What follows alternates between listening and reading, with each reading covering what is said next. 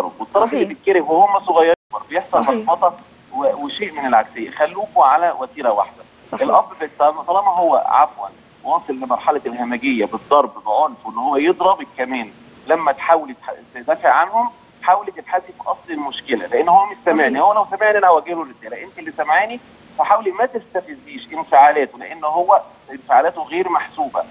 ومش ذنب الأطفال إنك اخترت لهم صحيح. هو مع الأسف في النهاية هم اللي بيدفعوا الثمن دكتور عمرو عادل استشاري نفسي وأسري بشكر حضرتك جدا على مداخلتك يا فندم بشكرك. خلينا نتكلم على حلقتنا النهارده وموضوع كل يوم بنتعرض ليه يمكن في برنامجنا من خلال اتصالات حضراتكم ومشاركتكم لينا اللي بتكون معظمها عن الخلافات الزوجية وشكوى كتير جدا من سوء المعاملة بين الزوجين اللي بتوصل لحد الضرب أحيانا والإهانة والعنف. زي ما يكون بالظبط هم أعداء مش زوجين. واختلفت المعالم الحقيقية اللي ربنا سبحانه وتعالى حطها لنا لشروط العلاقة الزوجية وهي السكن والمودة والرحمة وبقى مكانها مع الأسف القسوه والعنف. على الرغم من إن آه، الموضوع ممكن يكون أبسط من كده بكتير جدا ومش محتاج كل الصراعات والخلافات اللي إحنا فيها دي. خلونا نتكلم النهارده عن قصة سيدنا إبراهيم وسيدنا إسماعيل وإزاي سيدنا إبراهيم نصح سيدنا إسماعيل بتغيير حياته تماما وكمان تغيير العتبة. يعني إيه تغيير العتبة؟ ونصحه بإيه؟ ده اللي هنقوله إن شاء الله النهارده مع فضيلة الشيخ محمد أبو بكر. من علماء وزارة الأوقاف والأزهر الشريف وإن شاء الله نكون في انتظار تليفونات حضراتكم وأسئلتكم ولكن بعد الفاصل.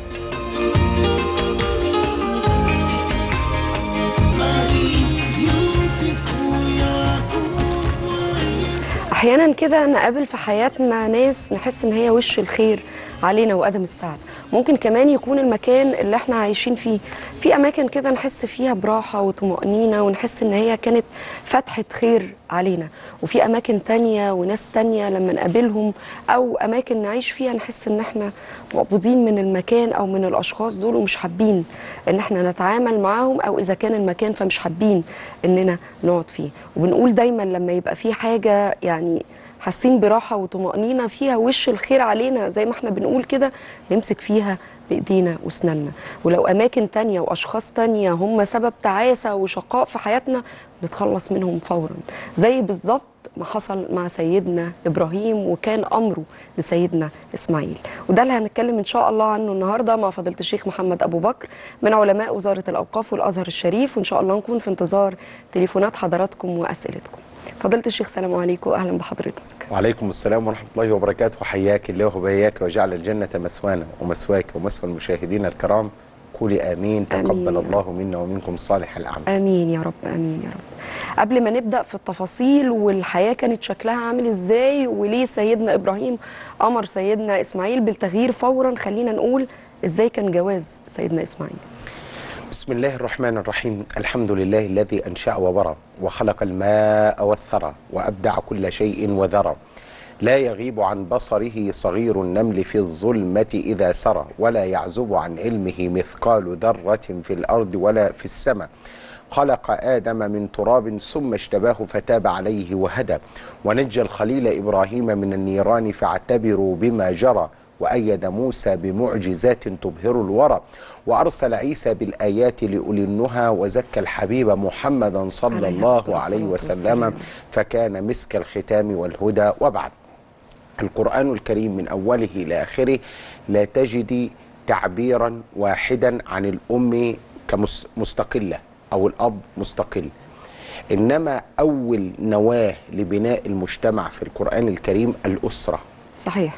وأول نواة لبناء أسرة صالحة الزوجة الأم. ولذلك لا غرو ولا عجب لما نعرف إن سيدنا إسماعيل اللي إحنا بنتكلم عليه النهارده اللي هو ربنا مدحه في القرآن وقال واذكر في الكتاب إسماعيل إنه كان صادق الوعد وكان رسولا نبيا. ربته امرأة. أمه. أحسنت التربية وأحسنت العطاء. فكان لها نعم الولد. ولذلك ربنا يقول إيه؟ وكان يأمر أهله بالصلاة والزكاة وكان عند ربه مرضيا. يبقى الجزاء من جنس العمل. صحيح. أم لم تنشغل بمصاعب الحياة ولم تنشغل بأن زوجها قد تركها. تقاسي آلام الوحدة وآلام التربية وآلام المجتمع. وآلام التصدي لمشكلات الحياة إنما فكرت إزاي تحط كل الهموم وكل الأحزان وكل المشكلات إن هي تربي ولد صالح. ما هو مش هتبقى كل حاجة بقى. الله. فخرجت سيدنا إسماعيل. سيدنا إسماعيل شاب نشأ تقي ورع ذكي أتقن اللغة العربية. وبالمناسبة أنا عايز أقول لك على حاجة جميلة قوي. سيدنا إسماعيل هو وأمه دفنا اللي هي السيده هاجر آه. في الحجر. أيوه. إيه هو الحجر؟ الكعبة في حتة كده منها حجر سيدنا إسماعيل. آه. آه اسمها حجر سيدنا إسماعيل. دفن في المكان ده ستنا هاجر ودفن معاها سيدنا إسماعيل عليه السلام. سيدنا إسماعيل كبر وتزوج من قبيلة اسمها قبيلة جرهم تزوج امرأة تسمى صدى بنت سعد. لما تزوج صدى بنت سعد خرج يصطاد فجه سيدنا إبراهيم يزور ولده إسماعيل.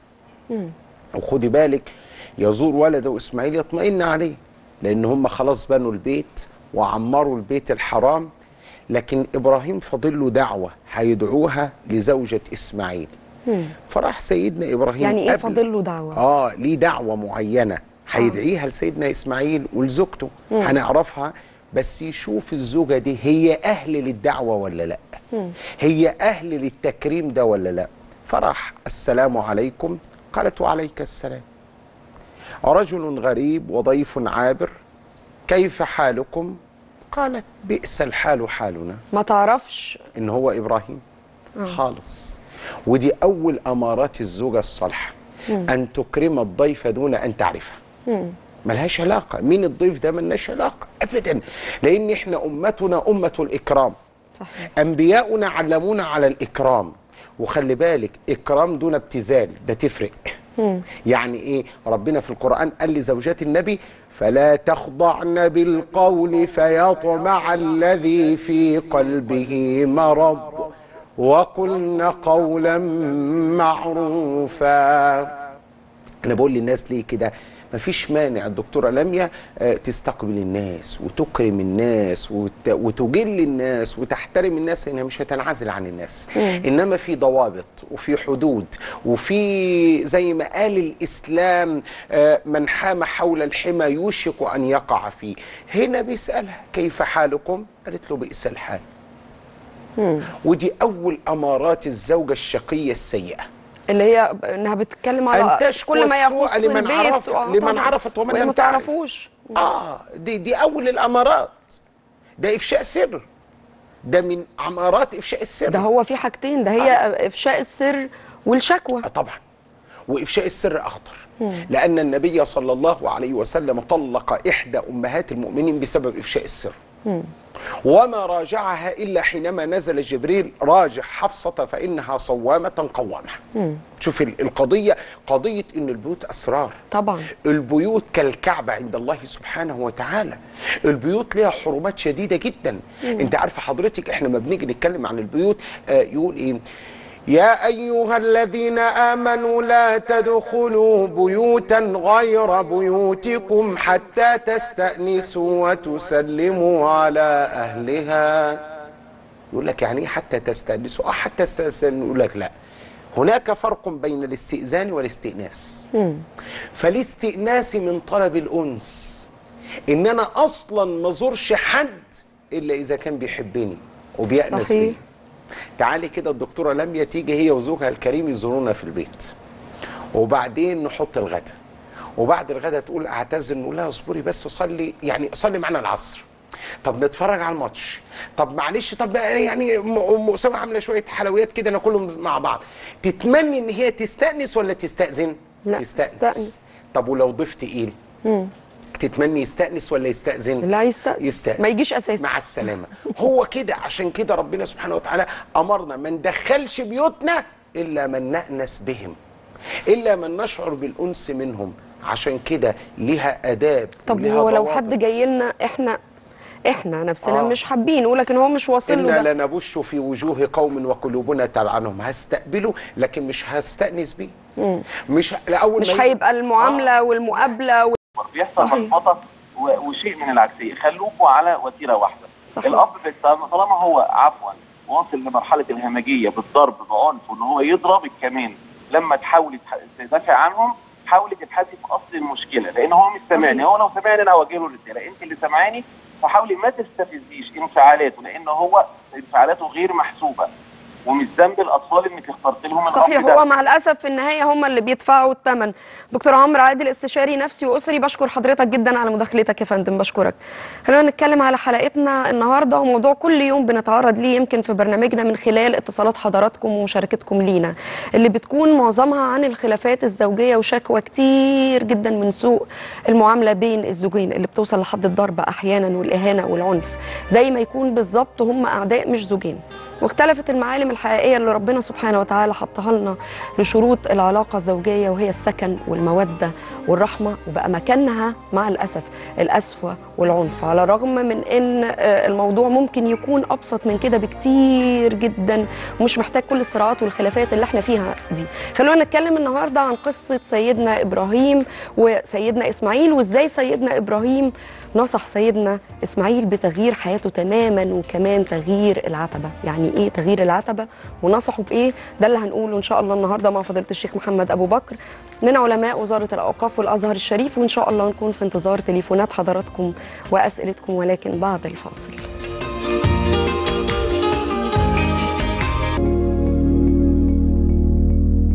آدم ونوح ويا الخليل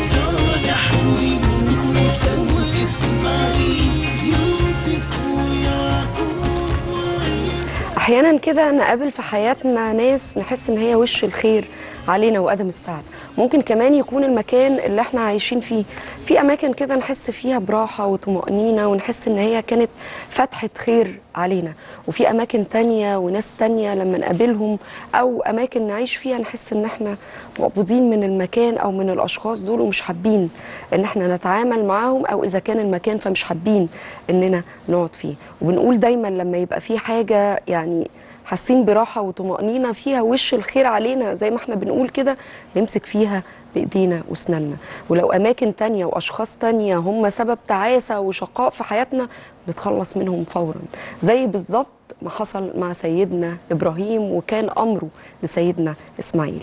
وده اللي هنتكلم إن شاء الله عنه النهارده مع فضيلة الشيخ محمد أبو بكر من علماء وزارة الأوقاف والأزهر الشريف. وإن شاء الله نكون في انتظار تليفونات حضراتكم وأسئلتكم.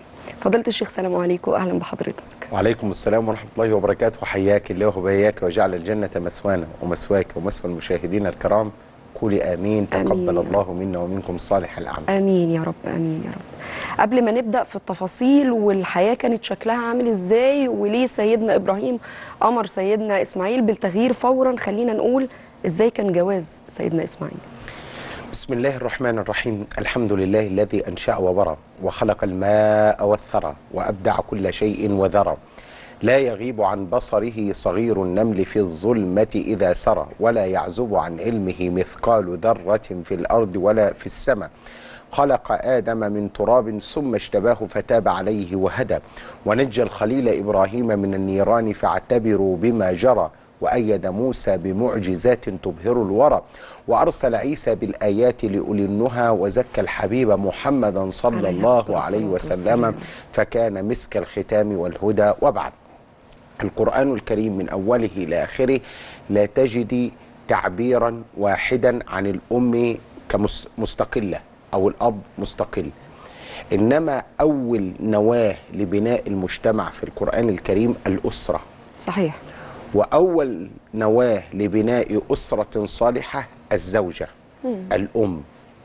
ولذلك لا غرو ولا عجب لما نعرف إن سيدنا إسماعيل اللي إحنا بنتكلم عليه النهارده اللي هو ربنا مدحه في القرآن وقال واذكر في الكتاب إسماعيل إنه كان صادق الوعد وكان رسولا نبيا. ربته امرأة. أمه أحسنت التربية وأحسنت العطاء. فكان لها نعم الولد. ولذلك ربنا يقول إيه؟ وكان يأمر أهله بالصلاة والزكاة وكان عند ربه مرضيا. يبقى الجزاء من جنس العمل. صحيح. أم لم تنشغل بمصاعب الحياة ولم تنشغل بأن زوجها قد تركها تقاسي آلام الوحدة وآلام التربية وآلام المجتمع وآلام التصدي لمشكلات الحياة إنما فكرت إزاي تحط كل الهموم وكل الأحزان وكل المشكلات إن هي تربي ولد صالح. ما هو مش هتبقى كل حاجة بقى. الله. فخرجت سيدنا إسماعيل. سيدنا إسماعيل شاب نشأ تقي ورع ذكي أتقن اللغة العربية. وبالمناسبة أنا عايز أقول لك على حاجة جميلة قوي. سيدنا إسماعيل هو وأمه دفنا اللي هي السيدة هاجر آه. في الحجر. أيوه. إيه هو الحجر؟ الكعبة في حتة كده منها حجر سيدنا إسماعيل. آه. آه اسمها حجر سيدنا إسماعيل. دفن في المكان ده ستنا هاجر ودفن معاها سيدنا إسماعيل عليه السلام. سيدنا إسماعيل كبر وتزوج من قبيلة اسمها قبيلة جرهم تزوج امرأة تسمى صدى بنت سعد. لما تزوج صدى بنت سعد خرج يصطاد فجه سيدنا إبراهيم يزور ولده إسماعيل.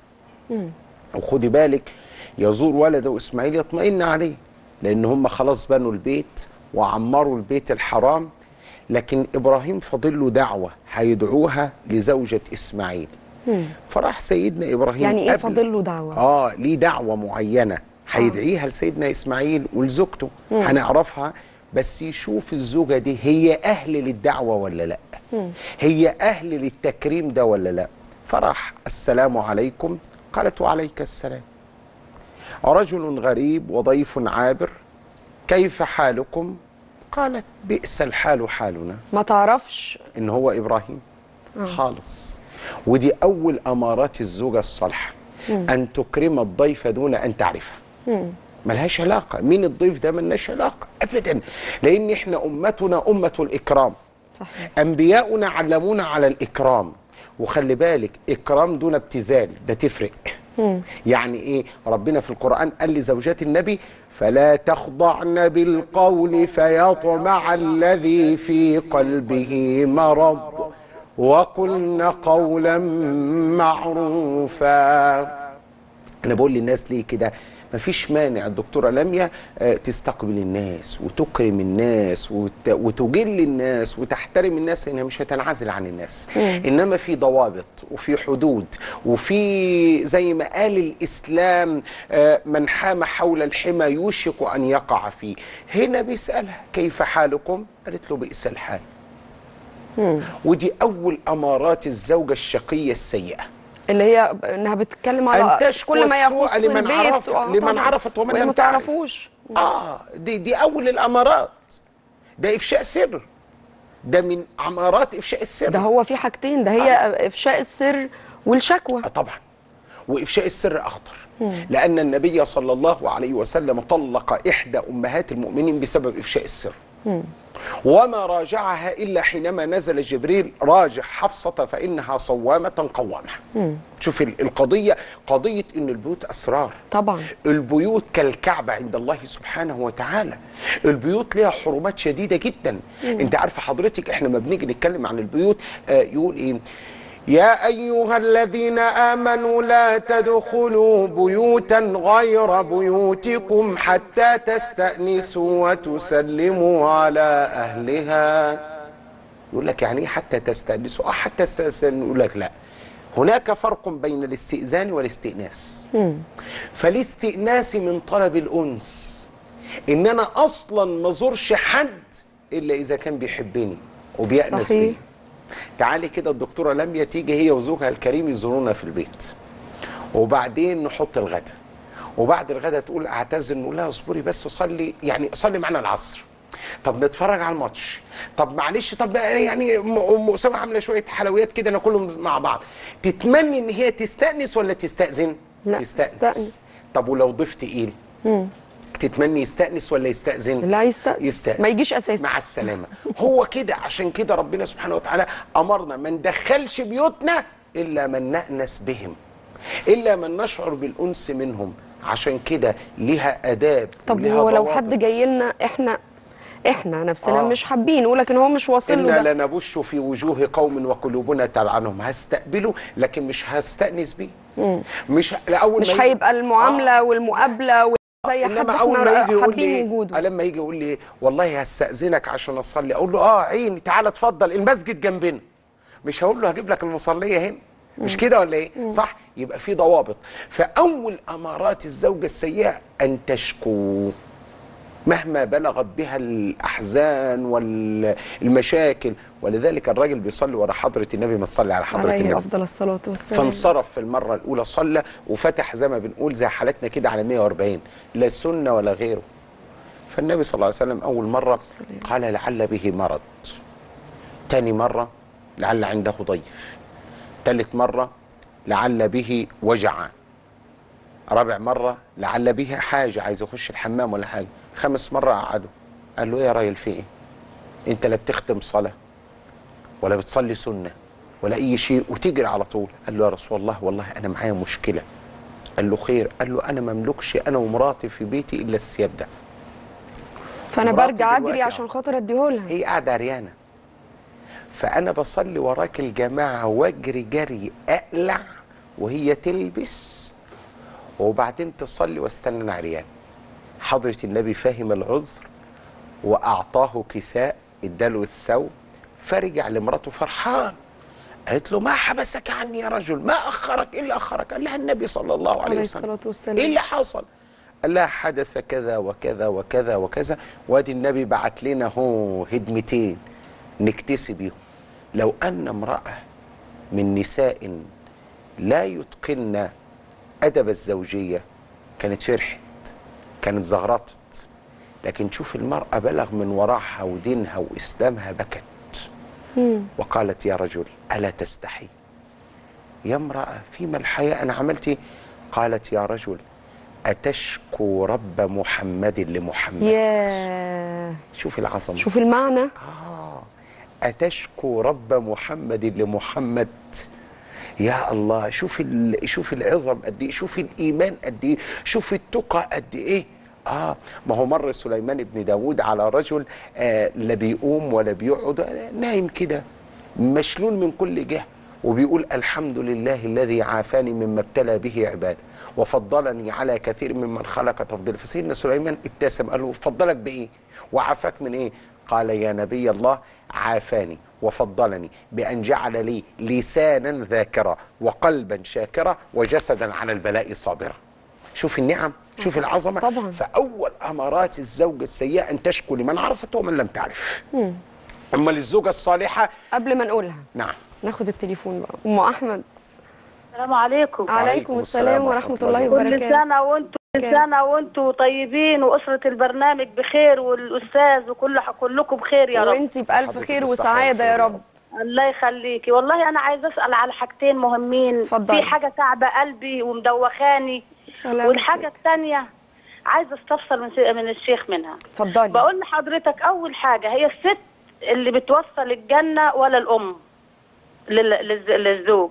حاضر. دي أول حاجة. وتاني حاجة مم. هل هل واحدة تقطع والدها 16 سنة وهو على قيد الحياة وراجل غلبان على قد حاله وهي حالها متيسر؟ وهل- مقطعة وهل- ليه يا أم أحمد؟ آه، وهل واحدة تخلي برضو زي ما قطعت والدها تخلي آه، آه، حما... ابنها يقطع حماتها وتعمل تدي حقن وت... وتدي ذنب والأم دي شقيت عليهم 30 سنة.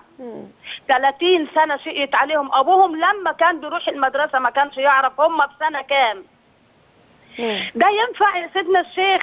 يجي الأعياد ما يعيدش على أمه وهي يجي. يجي ست... يجي 30 عيد. عليها 16 سنة. طب وهي هي بتعمل كده ليه يا أم أحمد؟ عملت كده ليه؟ الله أعلم. الله اعلى وأعلم. حاضر. ومين اللي هيدخل الجنة يا يا أستاذة؟ حاضر حاضر. مين اللي هيدخل الجنة يا ناس؟ الأم ولا ولا الزوجة؟ وهل الأم اللي بتضحي وبتتعب ما بتاخدش منهم حاجة؟ ولا بتسألهم بتديهم كل اللي عندها. حب وحنان ولو عايزين في أزمة بتقف جنبهم. وما بتزورهمش ولا بتبات عندهم يوم في الأيام. ولا بتخش في حياتهم. وبتشتغل ومش فاضية. وسايباهم كده سايبة لها راجل وسايبة لهم رجالة. ينفع مين ده؟ يصح حاضر. أنا عايز أسأل ده يصح وده الصح بتاع البنات اليومين دول هو المبدأ اللي هم ماشيين عليه. أنا عايز أفهم حاجة بس في الدنيا. ده حاضر ينفع الكلام ده؟ وتأثر على ابنها تأثر على جوزها لغاية ما يقطع أهله من غير ما يفهم حاجة. حسب لله ونعم الوكيل وهو الوكيل المتصرف ياخد حق كل الأمهات المظلومة. وكل اللي بيقول كلمة تقعد له اللي كان تقعد حلوة وحشة. في أي حد تقعد له. هو ده ودين. داين تدان يا أم أحمد. دين يا أستاذة. داين تدان ولا سماح اليوم الدين.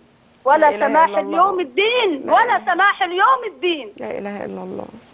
ولا سماح ولا قلب يرتاح. أنا الله بس يعينك. عايز أعرف عايز أعرف. إيه الأم بتجنيه على على مرات الابن وهي بتد... بتطلع حاجة بنتها تديها لها؟ بتبديها أقسم بالله يمين اتحاسب عليه يوم القيامة. أنا ببديهم عن وبناتي البنا... البنات. واقسم بالله تاني اقسم بالله تاني ببدي نسوان ولادي عن بناتي. أقول بناتي في حضني واللي, واللي محتاجينه ياخدوه. وما عمري ما فرقت بينهم وبين ولادي. والله والله والله يتحاسب عليه ربنا. أنا ببديهم عن ولادي. عايزة حاجة تاني؟ ربنا يا رب يكتبه في ميزان حسناتك ويصبرك يا رب. ما ولا عمري طلبت من عيل فلوس ولا عمري طلبت من عيل يقول لي باتي عيل من العيال أقول له لا يا حبيبي خد راحتك في بيتك. عمري ما ضايقت عيل في بيته. حاضر تابعينا يا أم أحمد. دايما بقول إنه آه، الزوجة هي زوجة. ما بنقولش حاجة بس هي مش لحمه ودمه هو لحمه ودمه امه وأخواته وأبوه.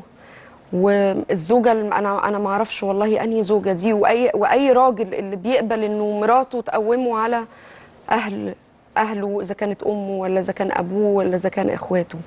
و أنا ما أعرفش هي هي بقت موضة الحقيقة. إحنا يعني تقريبا ما بيعديش حلقة إلا لما بنلاقي أم بتشتكي من قسوه ولادها عليها وإنهم راميينها وإنهم ما بيسألوش عنها وإنهم مقاطعينها وأصعب حاجة بيتهيألي في الدنيا. سألت سؤال الأول جميل جدا ومين اللي هيدخل الجنة؟ طيب آه خليني في البداية هخلفك في اللي انت قلتيه. بس أنا قبل ما أخلفك خليني أقول للناس كلها يا ريتنا نحفظ كده أن الدنيا عرض زائل. يأكل منها البر والفاجر. والآخرة وعد صادق. يحكم فيها ملك عادل. يحق الحق ويبطل الباطل. وكل إنسان يا ريته يفكر لكل عمل بيعمله هيقف قدام ربنا يقول له إيه؟ طبعا. كل حاجة أنت بتعملها تقف تتسأل عليها قدام ربنا. شوف هتجاوب إزاي. والإجابة الأصعب إن أنت تقنع بها ربنا سبحانه وتعالى.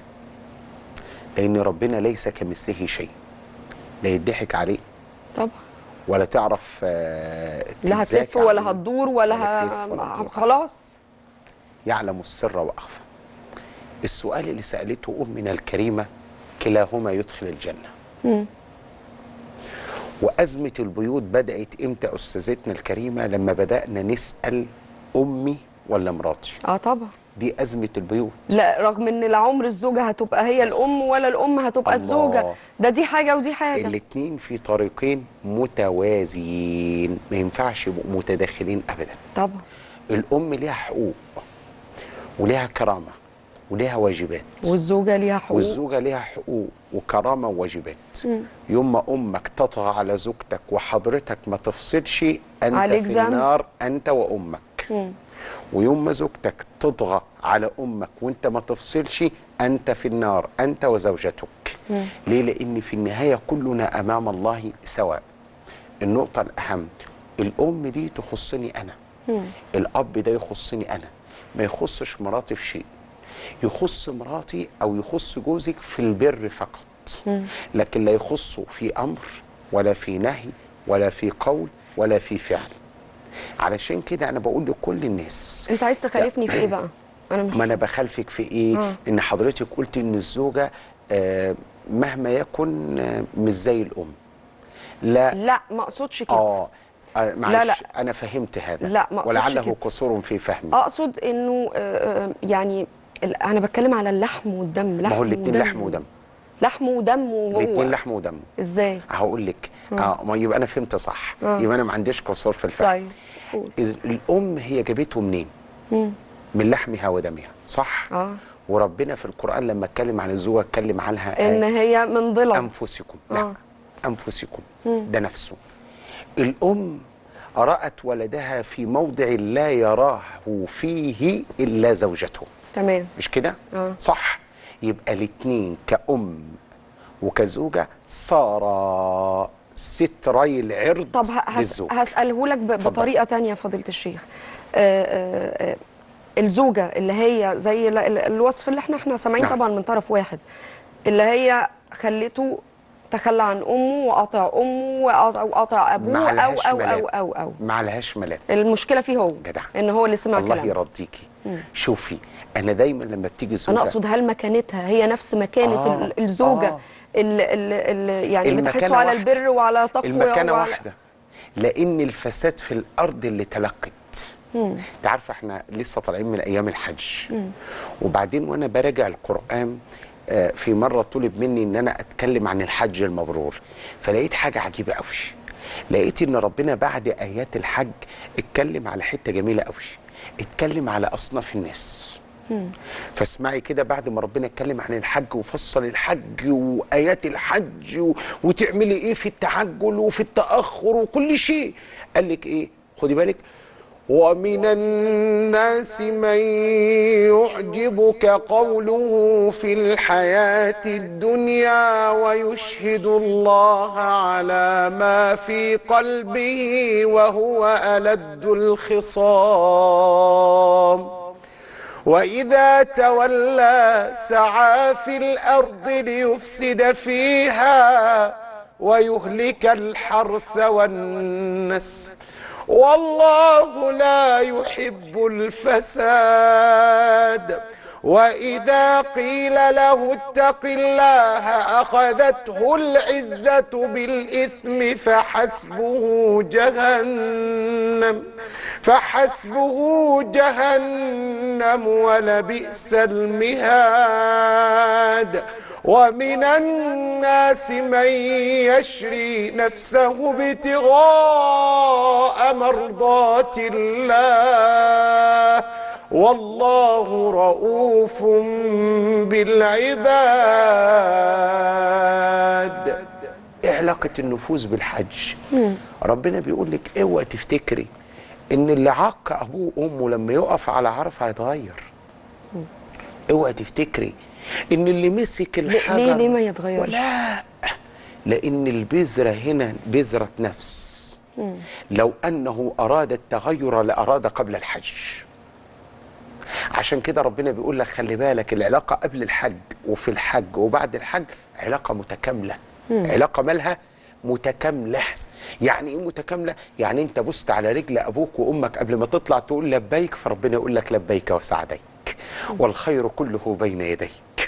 وتروح تطوف ويقول لك عد إلى بلدك حج مبرور وذنب مغفور. عد ودادا لا وداعا هترجع لي تاني يا عبدي. فترجع زي ما قال النبي صلى الله عليه وسلم. غفر الله للحاج ولمن استغفر له الحاج. ونوع تاني نوع خبيث النفس. عمره ما يترقى لأنه وقف وقف بجسده فقط. وهو رايح على متخيل إن أنت آه، هتروح الحج فهترجع. زي ما ولدتك أمك فخلاص بقى. ويعيط. لكن ويشهد الله على ما في قلبه صحيح. وهو ألد الخصام. هنا النقطة. عشان كده أرجع لست أم أحمد وأقول لك إيه؟ إن العلاقة بين الاتنين علاقة متوازية. طب ست أم أحمد لما بتسأل اللي قطع الزوجة معلاش ملام. الزوجة على مين؟ العيب على مين؟ على الابن اللي الابن. سمع. الاب على اللي سمع. خدي بالك لأن كأم طب والبنت ما هي كمان مقاطعة أبوها؟ ما هو العيب عليها. لأن هي يوم القيامة هتيجي مش ملهاش دعوة بيا أنا. الأم مش مش هتيجي على جوز البنت وتقول له تعال هتقول لها تعالي. لقد كان صدري لك سقاء وحضني لك أمانة وحجري لك غطاء. بما فعلت. عملت إيه بالكلام ده كله؟ ويجي الأب يقول له يا ولدي لقد كنت بك برا وعليك محسنا وإليك منفقا. عملت إيه بالكلام ده كله؟ خدي بالك من ده كله. فعشان كده أنا بقول للأم الكريمة اوعي تزعلي. لأن في ناس كده النبي قال له وقد نزع الله الرحمة إيه؟ من من قلبه. ربنا نزع الرحمة مش اللي أقرع ابن حابس بيقول له إن لي عشرة من الأولاد ما قبلت منهم واحد. قال له أعمل لك إيه؟ وقد نزع الله الرحمة من قلبك. عشان كده ربنا في سورة البقرة بيحط لك آية تسليك يا ست أم أحمد. بيقول إيه؟ ثم قست قلوبكم من بعد ذلك فهي كالحجارة. ده مش كده وبس. ده ممكن تكون هناك قلوب أشد قسوة من الحجارة كما قال ربنا. ساتر يا رب. ربنا اللي قال مش أنا والله. اوعي تفتكر ده كلام كلام ربنا. بيقول ده في من الحجارة اللي بيتشقق ويخرج منه الميه وفي اللي بيتفجر منه الأنهار وفي من الحجارة اللي بينهد من خشية الله وفي قلوب لا بتتشقق ويخرج منها مية ولا ولا بتخرج ولا منها. انهار ولا بتتهد من خشية الله. لا تخشع إلا إذا وضعت في النار. نسأل الله السلامة. آمين يا رب. مدام منى. ألو؟ مدام منى سلام عليكم عليكم. عليكم السلام. ألو؟ سامعانا يا مدام منى؟ طيب حاولي تكلمينا مرة تانية. طيب نرجع نكمل. فقالت له ما عندناش إيه؟ بئس العيش عيشنا مم. أعندكم من طعام؟ قالت ما في بيتنا طعام. كيف حال الماء؟ بئس الماء كما ترى. ده يعني شكوى شكوى من. كله. آه. ما هو خدي بالك ما هو في حتى الشكوى في شكوى بأدب. أنت ممكن حد يسألك أخبارك؟ إيه؟ تقول له الحمد لله. ودي في حد ذاتها شكوى لكن شكوى بأدب ما هو أقول الحمد لله ما. حدش عارف في قلبك إيه بتحمدي على الخير ولا الشر طب أنا كده ولذلك ما إزاي؟ هو شكوى بأدب ما إحنا بنقول دي شكوى بأدب آه. إنما الصبر الجميل أن تقلبي الوجع إلى خير عظيم فأقول أنا في خير ونعمة كبيرة جدا من. ربنا سبحانه يا وتعالى. شيخ إزاي في خير ونعمة أنت مش زوجك عامل عملية تقول أيوة يا سيدي ده نعم أنت ما تعرفش حاجة ده ربنا نجانا وبعت. لنا الرزق اللي اللي ما خليناش استدنا لحد. ولا مدينا ايدنا لحد. ورفع راسنا قدام الناس. هو ده اللي هو إيه؟ قال إنما أشكو بثي وحزني إلى الله. يقول لك عجيب قوي يا أخي. هي إيه حكايتها؟ دي ما بت... ما, بت... ما بتشكيش خالص. ده الدنيا عندها متكربسة. يا عم ده انت مش فاهم حاجة. ده في جارتنا بنتها سقطت في الثانوية العامة. أنا ربنا كرمني وطلعت بنتي من الأوائل. وكرمني وابني ربنا كرمه. وكرمني في نفسي. وكرمني في بيتي. وكرمني في حياتي. وكرمني. وهي لما تختلم مع ربنا تقول له علمك بحالي يغني عن سؤالي. ودي أحلى حاجة بقى في الدنيا. تعلم أن الأمور قد عظمت وأن الهموم قد ثقلت لكن لا شكوى لغيرك. لأنك صاحب الشكوى ولا يشتكى لغيرك. وتبدأ تكلم ربنا. والله يا شيخ محمد ليها طعم. آه طبعا. وإحساس طبعا. مختلف تماما. طبعا. يعني في ناس تقول لك ما هو أنا لازم ما أنا بشتكي علشان خاطر آخد ودي في الكلام. يا رب يا رب يا رب وصلنا لدرجة إن الشكوى ما تبقاش غير ليه هو اللهم بس. آمين. عارفة ليه؟ عارفة ليه؟ لأن أنت كل ما تشكي لي أقول لك هو كل ما تشوفني هو مكتوب على مكتب على وش مكتب شكاوى الجمهورية فإنما تشكو الرحيم إلى الذي لا يرحم.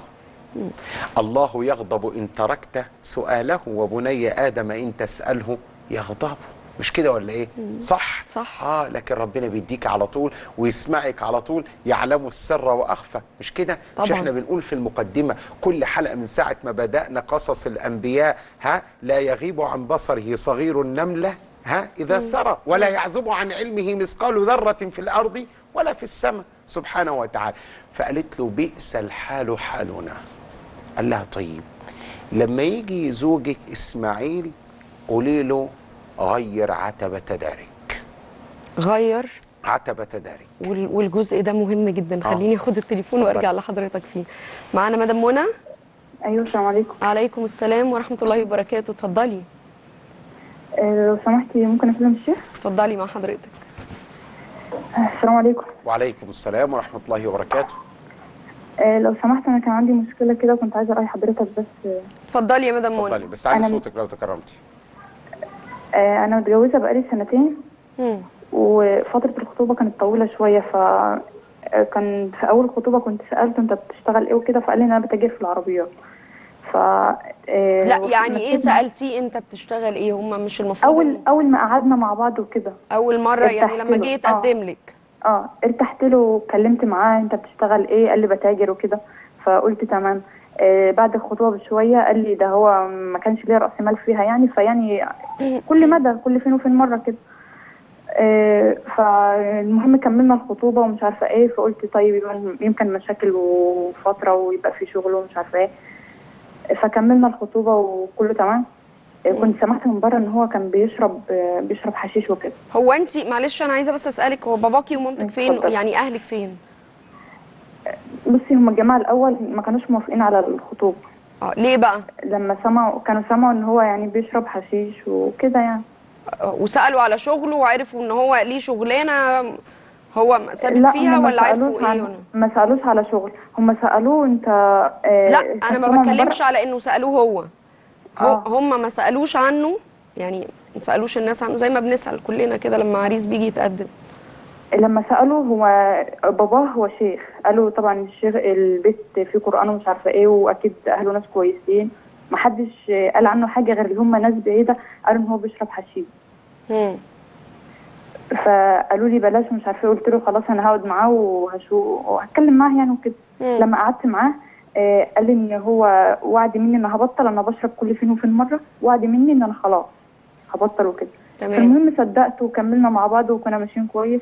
هي كانت بتحصل في فترة الخطوبة اللي هي المشاكل العادية. المشاكل العادي آه كنا نرجع نتكلم. المهم آه حصل بقى الجواز وكده ومشينا كويس مع بعض. ففي الجواز لقيته إن هو بيشرب. آه مرة في مرة اكتشفت إن هو بيشرب. وكان جاله كام شغل. فيقول لي مثلا إيه ده لا الشغل ده مش كويس لا مش عارفة إيه. في آخر مرة قلت لا مش هينفع كده لازم إن أنا آخد موقف وكده.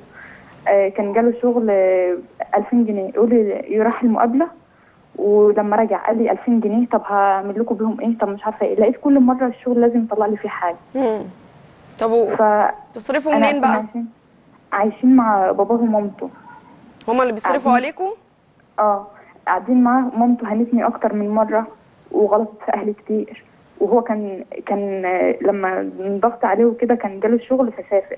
رجع خد مرض من هناك ورجع تعب فترة طويلة. لا لا. آه، آه، آه، سافر سافر يشتغل يعني؟ آه. سافر يشتغل بره. آه ناس كلموه كده فقلت له أنت مقتنع بالشغل ومش عارفة إيه؟ قال كويس ده هم شكروا لي فيه ومش عارفة إيه. المهم راح وجه من هناك خد مرض من هناك وكان سافر جنوب أفريقيا. فخد مرض من هناك وجه تعب فترة قعد شهر كده تعبان. تمام. المهم بقيت يعني معاه لقيت مامته انت السبب ومش عارفة إيه. والمهم سمعتني كلام وحش كتير يعني. مم. المهم بعد ما فاق بقى كويس آه قلت له كان لقيت الشغل ده بقى فقلت له روح ومش عارفة إيه. مامته قالت هو أنت عايزة تموتيه أنت مش عارفة إيه؟ فأقول لها عايزة أموته ليه؟ عشان خاطر بنات وإحنا معانا دلوقتي بنتين. توأم. آه فبقول عشان خاطر البنات وأنا بتكلم مصلحته ومصلحة البنات دول. آه، فهي لما ما يكونش هو قاعد تقول لي أنا نفسي إن هو يشتغل أنا هفضل آه، هفضل أصرف عليه ليه؟ طب لما أموت طب مش عارفة إيه. أنا بسمع الكلام ده بيضايقني. فلما اكون قاعدة معاه بتكلم معاه لازم نشوف شغل لازم حياتنا تبقى غير كده هتفضل تاخد من طب. سؤالك سؤالك إيه يا منى سؤالي دلوقتي إن أنا دلوقتي خدت موقف لما هو ما راحش الشغل ده. آه خلاص لو مش هتشتغل وتكفي بيتك أنا راح في بيتنا عشان مش هفضل استحمل اهانه من مامتك ومن أهلك علشان خاطر إن أنت مش عايز تشتغل هو أنتوا اتجوزتوا أساسا في بيت أهله على طول أيوه هو البيت كلته لنا شقة فيه يعني. واهلي تحت و... تمام. فانت دلوقتي خدتي موقف ورحتي بيت أهلك. أيوه قلت له لما تشتغل وتقدر تصرف علينا تعالى خدنا طيب. فدلوقتي اس- المشكلة الجماعة كلهم كله بيقول لي لا ما ينفعش إنك تعيشي معاه بعد شرب الحشيش وإن هو بقى دلوقتي شهر في بيتنا ما سألش علينا. تمام. أنا والبنات. الجماعة بيقولوا هنبعتوا العيال ونشوفهم هيعملوا إيه. فمحتاره أبعت العيال لو لو العيال بعدوا عني مش هيخلونا أشوفهم هيكرهوهم في أمهم. لما يكبروا مثلا هيقولوا أنت سبتينا. ما تسيبيش ولادك. ما تسيبيش ولادك ايا كانت الظروف اللي في الدنيا. اوعي تسيبي ولادك. طيب نجاوب عليها فضيلة الشيخ عشان الوقت. طيب هو خليني في البداية أقول لها إن هي جنت من البداية من البداية كان جنت غلط. ما زرعت. صح. وأنا دايما لما بيجي حد كده يقول لي يا عم الشيخ آه أنا متقدم لبنتي واحد حتى ما بيصليش أقول له ما اتجوزهاش لأن النبي صلى الله عليه وسلم يقول من زوج ابنته لتارك صلاه فقد قطع رحمه. ليه؟ لأنك إزاي هتقول له بعد كده قال الله وقال الرسول؟ إزاي هتخوفه من ربنا؟ هي دورت على هو بيشتغل إيه لكن ما دورتش إزاي بطل الحشيش ما دورتش وهو قاعد معاها عمال يحب فيها فترة الخطوبة الظهر يأذن والعصر يأذن ولا قام صلى ولا أي شيء ودي آفة العصر. إن إحنا. بندور على أمور كتير جدا والناس. بتتغاضى عن بعض الحاجات وتقول لك أصل بعد. الجواز هيتغير بس كده فيوم ان نسي الدين أو نسينا الدين هدمت البيوت وضاعت البيوت وضاعت الأسرة وأصبح الحال عندنا آه النهارده في كل قناة تلفزيونية وفي كل برنامج عندنا صدى بنت سعد اللي هي زوجة إسماعيل الأولى وهي بتعلن على الناس أمرها وأمر حياتها أنا من وجهة نظري أنا ما أقدرش أقول لك آه لا تسيب الولاد ولا تاخدي الولاد. انت أضرب نفسك انت أضرب حالك. انت قادرة تطل- تطلب الطلاق تقعدي على ذمته انت الادرى لأن أنا سامع من طرف واحد. لكن أنا في يقيني إذا أردت الإصلاح اصلحي. إذا استطعت أن تصبري وأن تتحملي فافعلي. وإن لم تستطيعي فلا حرج عليك. تمام. ربنا يهدي للناس كلها الحال يا رب, رب العالمين. نورتني يا فضيلة الشيخ. أنار الله قلبك بالإيمان ووجهك ونكمل إن بالسعاده شاء الله. بإذن الله. لو عشت وكان لي عمر بشكر حضرتك جدا. شكر الله لك. مشاهدينا هنروح مع بعض الفاصل وبعد الفاصل إن شاء الله نكون مع حضراتكم وفقرة مسجلة من وبكرة. أحلى محمد والمستحيل ما عرفناش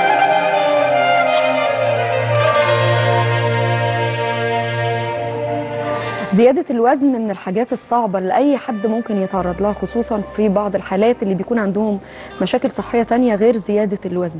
زي مثلا مرضى الكانسر ما بيكونش قدامهم, قدامهم حلول كتير عشان يتخلصوا من الوزن الزايد. ده طبعا بسبب الكيماوي لأنه في معظم الأحيان بيكونوا بيتعرضوا أو بيتعارض مع منتجات تانية كتير جدا وأنظمة كتير قوي النهاردة هنتكلم عن إزاي الشخص اللي بيعاني من أمراض معينة ممكن يكون آه، عنده صعوبة في إنه ينزل بوزن مثالي وإنه ياخد بعض الأدوية ده بيبقى عنده مشاكل. إحنا هنقول له إزاي النهارده يقدر يخس بدون أي مشاكل صحية ممكن يتعرض لها تاني.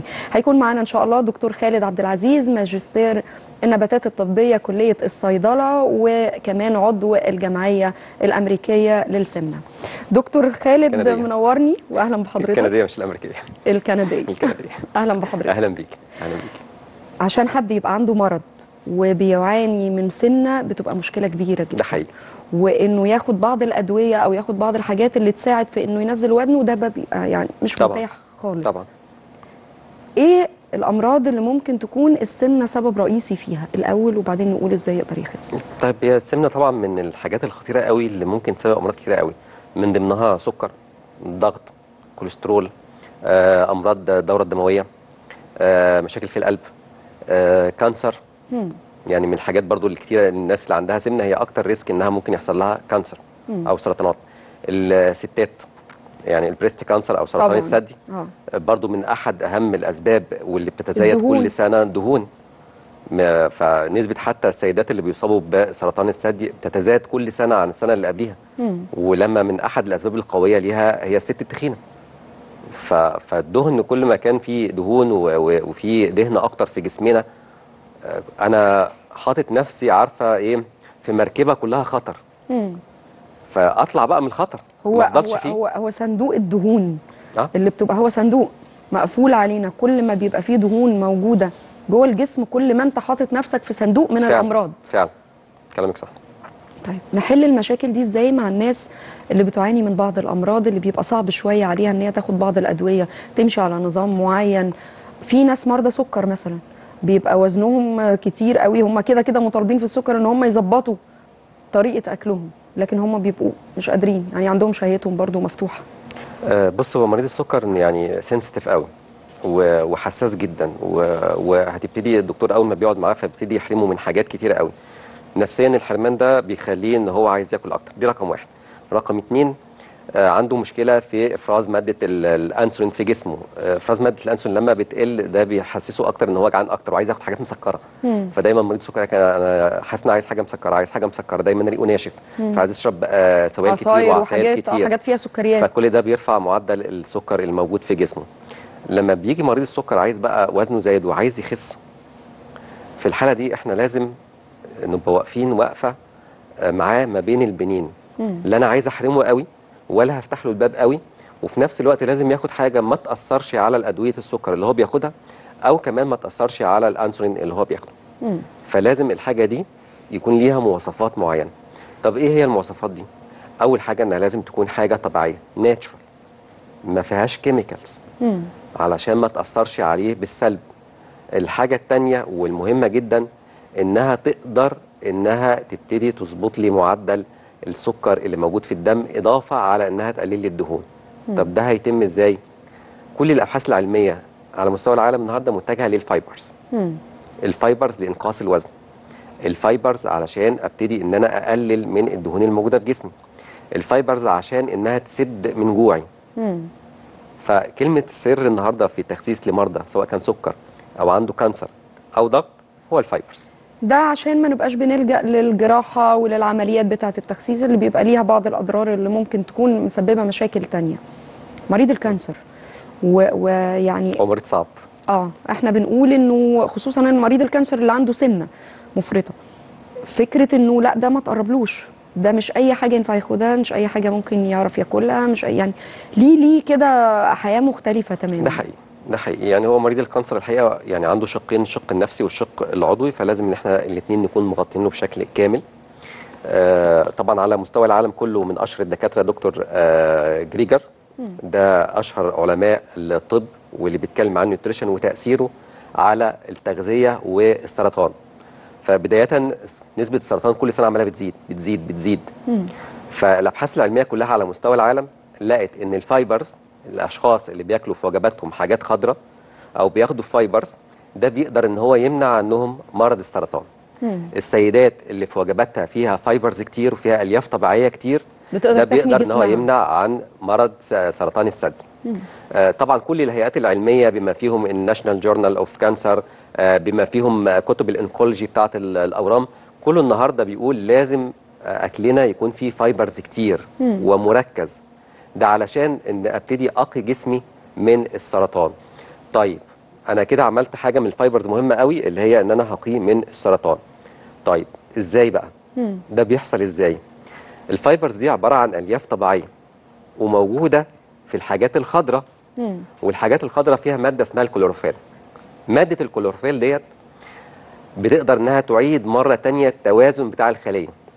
مع فكرة ال cancer أو السرطان هي خلية ما بقتش تقوم بوظيفتها. وبتبتدي تهاجم خلايا تانية وتاكل في الخلايا الحية بتاعت جسمنا وتنتشر. فأنا مادة الكلوروفيل الموجودة في ال fiber هتقدر إنها تعيد الخليه مرة تانية التوازن. طب تأثيرها إيه على التخسيس؟ ما أنا برضو نفس الشيء. أنا منعت السرطان وحتى لو حد عنده cancer بيقدر إن هو يساعده مع العلاجات اللي هو بياخده إن هو يديله نتائج أحسن وفي نفس الوقت عايز أبتدي أنزل وزني طب بيساعد إزاي المريض اللي عنده cancer؟ حضرتك بتقول بي- بيساعد الأدوية بتاعة ال cancer إزاي؟ بالظبط. أنا النهارده هو بياخد أدويته بتاعة ال cancer ال fibers فيها مادة الكلوروفيل. الكلوروفيل دي بتقدر تعيد مرة تانية توازن الخلية اللي هي حصل فيها damage كمان الخلية اللي لسه هيحصل فيها damage ودي worldwide معروف على مستوى العالم مادة الكلوروفيل الموجودة في ال fibers. طيب يعني معناها إن أنا النهارده أبتدي أنزل أجيب خضروات كتير. وأكل كتير فيه حاجات خضراء زي الأفوكادو وزي الخس وزي البروكلي. آه هات. بس انت محتاج كمية كبيرة قوي من دول. يعني محتاج تاخد كميات كبيرة. فالنهاردة أنا في عندي fibers موجود و concentrated مركز. هقدر أخده وهيديني نتيجة أسرع وأحسن. آه الحاجة التانية بيفضل في الجسم فترة أطول. آه هيخسسني إزاي؟ هيعمل إيه؟ هيملى المعدة؟ أنا عايز املى لك معدتك عشان ما تحسش إن أنت جعان. فالفايبرز المركز اللي انت هتاخده جوه معدتك ده هيملاه بشكل كبير قوي. فتلاقي معدتك على طول مليانة. فحاسس على طول بيدي اشارات للمخ أنا شبعان. وفي نفس الوقت كمان الخلايا الدهنية هبتدي إن أنا أطلعها لك من جسمك وأكسرها وتخرج بره الجسم. فأنت خدت كل الفوائد اللي موجودة في ال fibers. فطب هل دكاترة الأورام والدكاترة اللي بيعالجوا الناس من ال cancer عارفين ال fibers؟ آه عارفين ال fibers. بينصحوا فيه المرضى؟ آه بينصحوا بيه المرضى. worldwide على مستوى العالم هنا في مصر أو في أي دولة في العالم. يعني دايما هيقول لأي مريض cancer أنا عايزك تاخد كمية fibers كتيرة قوي طب هي ال fibers زي بعض؟ لا مش زي بعض. ما أنا كنت لسه هقول لحضرتك ال fibers اللي هو هو المنتج أو الدواء اللي إحنا بنتكلم عنه النهارده ولا إنه لأ كل كل بقى حاجات ورقية كتير وكل يعني حاجات خضراء كتير علشان خاطر دي مفيدة للصحة وللبشرة وللشعر وللمرض نفسه ولا إيه؟ بص هو للأسف آه، يعني الزراعات على مستوى العالم بتتجه ناحية الحاجات ال chemicals والأسمدة ومش عارفة إيه في أماكن حتى ده الزراعة بقينا نقلق منه. يعني زمان ب- كانوا بياكلوه من الأرض آه، ما ده حقيقي. بيحصلهمش حاجة. إحنا النهارده بنفضل نغسل فيه في. الغسالة وبرده بنعيا. آه ده حقيقي. ده حقيقي. فعشان كده دايما الاتجاه كله ناحية الحاجة ال organic. إن أنا آكل حاجة organic اللي هي مزروعة من غير مبيدات. آه حاجة كمان الأرض نفسها ما خدتش أسمدة آه كيماوية أو خدت مبيدات آه كيماوية فبتبقى organic. ده عشان بس يعني آه، السادة المشاهدين يبقوا معانا. ده شرح تقريبا لل- لل fiber لل fibers. بيعمل إيه؟ بالظبط. فال fibers آه، powder مركز ألياف طبيعية 100% ما فيهاش أي نوع من أنواع ال chemicals organic بنبتدي إن إحنا ناخده عن طريق الفم. بيتاكل. بدوبه الأول في مية لمدة دقيقة أو دقيقتين. لما بيخش المعدة عندي ال fibers دوت بيبتدي إن هو عاشق للمية. بيحبها جدا. كل ما تديله مية أكتر كل ما الحجم بتاعه بيكبر. وكل ما نشرب مية أكتر كل ما بشرتنا وشعرنا وصحتنا تبقى أحسن. ده حقيقي ما هي المية أساس الحياة. فالنهاردة أنا مدي جسمي fibers ومديله مية. الاثنين دول أساس الحياة بالنسبة لي. معدتي اتملت خلاص أنا حسيت إن أنا شبعان. فخلاص مش محتاج إن أنا آكل تاني مش محتاج إن أنا أضيف للجسم تاني. والجسم أوتوماتيك عايز الطاقة بتاعته ال ATP يكسر ويحرق دهون فياخدها. بتحصل هنا في العملية ديت عملية إنقاص الوزن بس بشكل طبيعي و healthy ممكن نلاقي بعد بعد فترة قد إيه بدأ يظهر تغيير في شكل الجسم في المقاسات في, ال- في الوزن. آه السؤال ده حلو. كله بيبص على النتيجة. طب أنا هخس يا دكتور بعد آه قد إيه؟ طبعا. كله عايز يبقى من أول يوم ويخلص. لا مفيش حاجة اسمها من أول يوم. ومفيش حاجة إن أنا حاطط ميزان وكل يوم أقعد أوزن. الكلام ده غلط. المؤشر لينا يا دكتور الميزان ولا المقاس؟ بص هو اتنين. يعني في عندنا اللي هي محيط الجسم وكتلة الجسم وفي الميزان الوزن العام بتاع الجسم. فالاثنين لازم هيقلوا. ما ينفعش واحد يقول لك أنا حاسس إن أنا ال- المحيط بتاع جسمي قل ووزني ما قلش. لا يبقى أنت عندك حاجة غلط. فإحنا بنحطه على جهاز الانبادي بنبتدي نشوف نسبة المية عنده قد إيه نسبة الدهون عنده قد إيه كتلة الجسم قد إيه. الدهون كمان متركزة في أنهي حتة في الجسم. يعني أنت في الجزء العلوي أكتر ولا في الجزء السفلي أكتر؟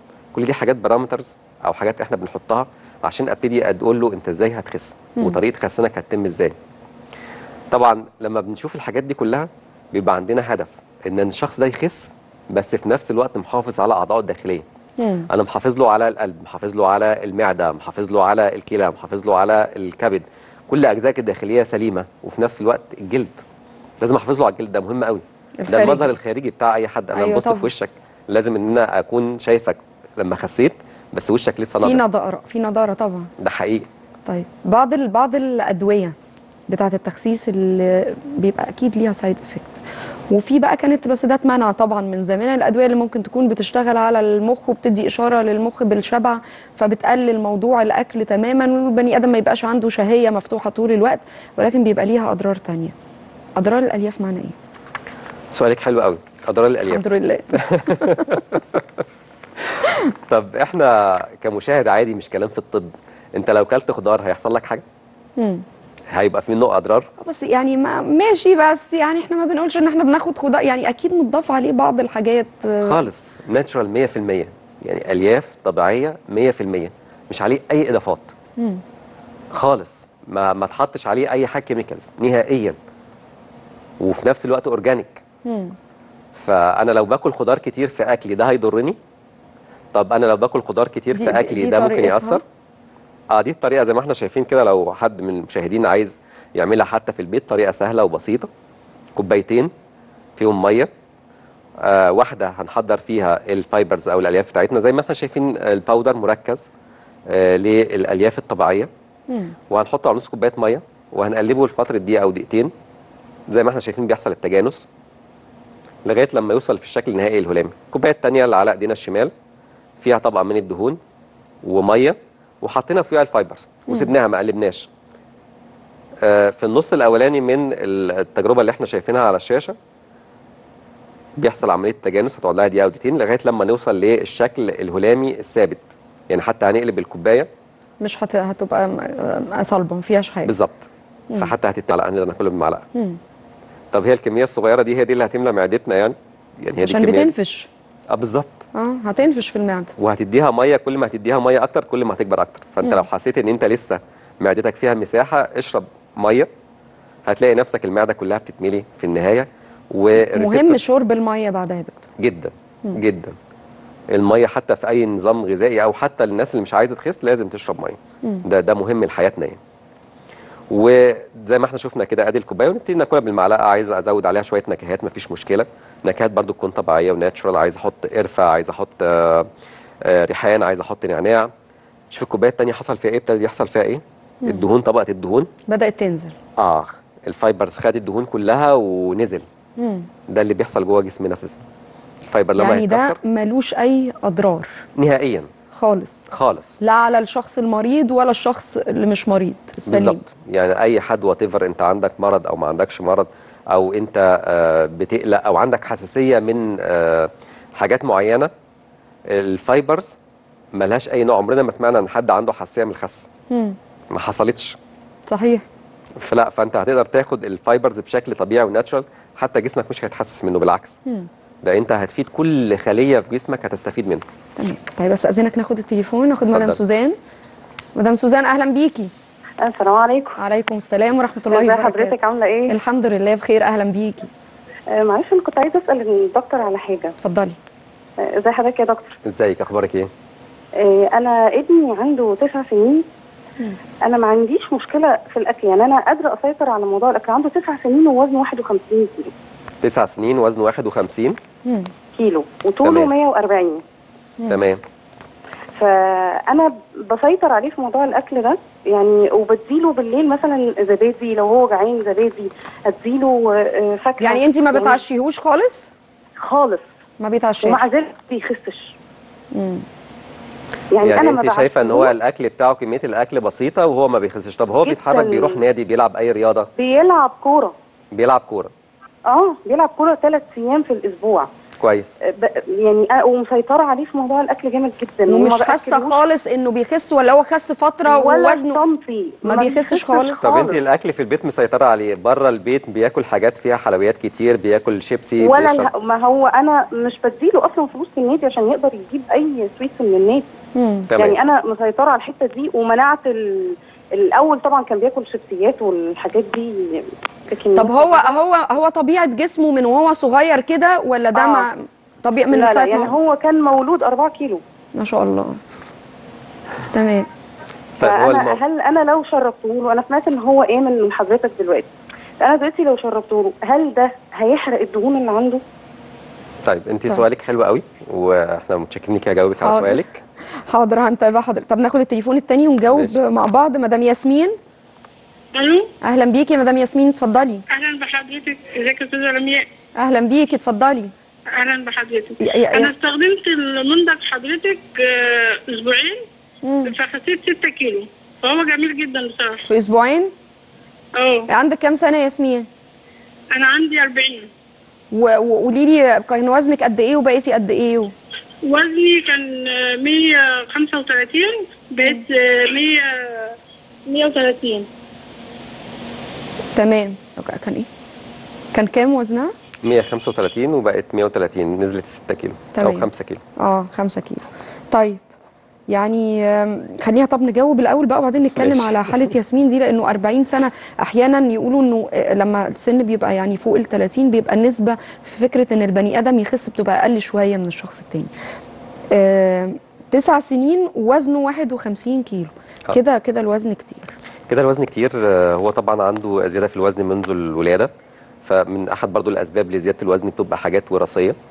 آه، جسمه بيبقى خلاص مؤهل على طول إن هو حتى لو ما بياكلش أكلات بسيطة بس بيبتدي يخزن آه، دهون في جسمه. آه، معدل الحرق في جسمه قليل. آه، هي مسيطرة عليه في الأكل. فحتى هي بتقول له الأكلات بتاعته متوازنة ما فيش أكلات كتيرة.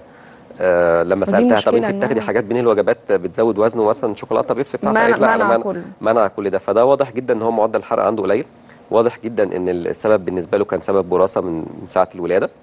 طيب هو لو خد ال fibers هيخس ولا لأ؟ مم. آه هيخس. طب تسع سنين تسع ينفع سنين. إن هو ياخد ده؟ تسع سنين ينفع إن هو ياخد ده. والأطفال من عمر سنتين أنا بديهم حاجة نباتية ومش عليها chemicals فأنا مش مأثر عليهم في حاجة. مم. طب هي هتفيده ولا هتضره؟ ده أنا بديك fibers مم. ده أنا بديك ألياف نباتية. مم.